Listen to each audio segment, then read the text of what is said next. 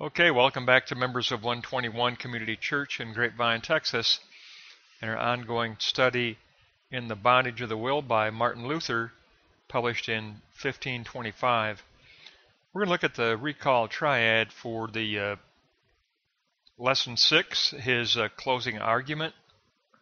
It was a pretty, uh, pretty detailed lesson from Luther, so the recall triad will help us to uh, encapsulate the key elements of that closing argument against Erasmus.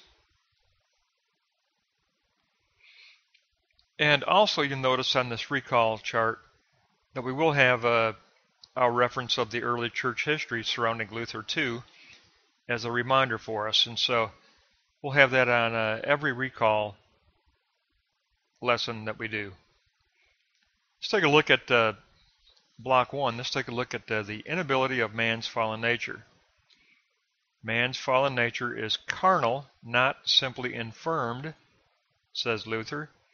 And he uses Genesis 6 3 and 1 Corinthians 3 3. We have an inability to reach God on our own. He uses Romans 8 and Genesis 8. In that instance, man has a fallen free will that needs God's intervention Period. We cannot approach God on our on our own. And he goes to Acts 15:8 and Isaiah 40. He always bases everything in Scripture. Because doctrine has to be based on the infallibility of Scripture and on sound, good conscience. That's Luther's definition. Doctrine must be informed by infallible Scripture and good sound conscience. Now, block two, the consequence of man's fallen nature. Human will is withered and faded, says Isaiah 40 and John 3. We are dead in sin, not just infirmed. We are dead in sin. That's from Romans 8. And then the key. Luther loves this. Uh, John chapter 3. We must be born again. We must be born from above out of our death. We must be born from above. And he uses John 3, of course, but also Jeremiah 10:23. He also references Jeremiah. And that leads us to the uh, all-important block 3, where Luther closes out his uh, final argument saying that sign value must be preserved in this doctrine, and that means to affirm that only God gives increase. Only God gives spiritual increase. Salvation is by grace, only grace. So he tells us that the evangelical fruits are lost unless we are in Christ. He takes that from the Gospel of John, John 15:5. By not being in Christ, we are cast forth and withered. Again, that's John 15, but John 15:6. And then the verse, only God can give spiritual increase from 1 Corinthians 3:7. All of this conclusive argument because remember the final lesson is going to be testimony from Paul and John. This was his uh, closing argument. And basically, we have a fallen nature. We are dead in sin. We must be born again. That's his closing argument. We have a carnal, fallen nature. We are not simply ill or infirmed. We are dead in sin we don't need a little help. We don't need to cooperate with God for salvation.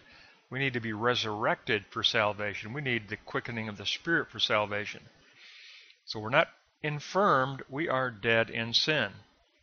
We have a fallen nature, we are dead in sin. We need to be born again because God alone gives spiritual increase. And he goes, obviously, from Romans to the Gospel of John, back to Genesis, from Romans to the Gospel of John, and then back to Genesis. Luther is deeply rooted in the apostolic witness of the Apostle Paul and the apostolic witness of John the Beloved. That becomes his strength, and he is scripture based in his doctrine. But let's review that uh, early church history. It's important to see where this uh, Reformation was situated. In 325 AD, the Council of Nicaea met. They addressed the heresy of Arianism uh, remember, Arius said Christ is not co eternal with God the Father, and Christ is not co substantial with God the Father. Athanasius opposed this, and the council sided with Athanasius. Christ is co eternal with the Father, Christ is co substantial with the Father.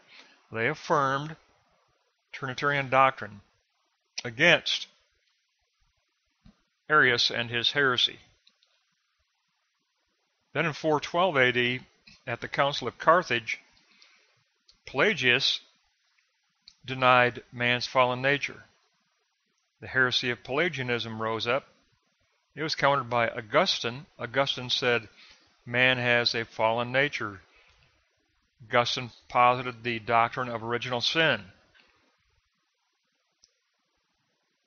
And so the council sided with uh, Augustine and the doctrine of the fallen nature of mankind was affirmed. However, in 412 AD also, Pope Zosimus issued a papal bull condemning the Council of Carthage, and he sided with Pelagianism. Because if you deny an entirely fallen nature, then you can tell your parishioners that they need to cooperate with the priest to attain salvation. You can create a works righteousness type of worship, which the Catholic Church did. So, Pope Zosimus condemned the Council of Carthage. Then we move all the way into the Reformation time. In 1525, Actually, it was 1524 when Erasmus wrote his diatribe on the free will. But then in 1525, Luther countered with his bondage of the will. And that has been defined as synergistic doctrine versus monergistic doctrine. Synergistic doctrine says we cooperate with God for our salvation. Erasmus says we do have a free will, a free human will. It is not fallen. We might have a fallen nature, but we're, we're injured. We're not completely dead. Luther said we are completely dead in sin, in our fallen nature.